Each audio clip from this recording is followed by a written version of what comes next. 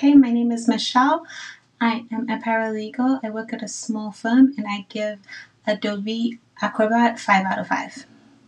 Before using Acrobat Reader, I used to use either I used to read PDFs either on my browser or just trying to download them by themselves and it didn't really work because uh, sometimes they would not be able to open properly. So then I switched to Adobe Acrobat Reader. I ended up choosing Adobe Acrobat Reader because it gave me a little bit more functionality than not having it. So I was able to highlight the things that I was highlight the things that I was reading and also make co- make comments uh, in the PDF that I would be reviewing.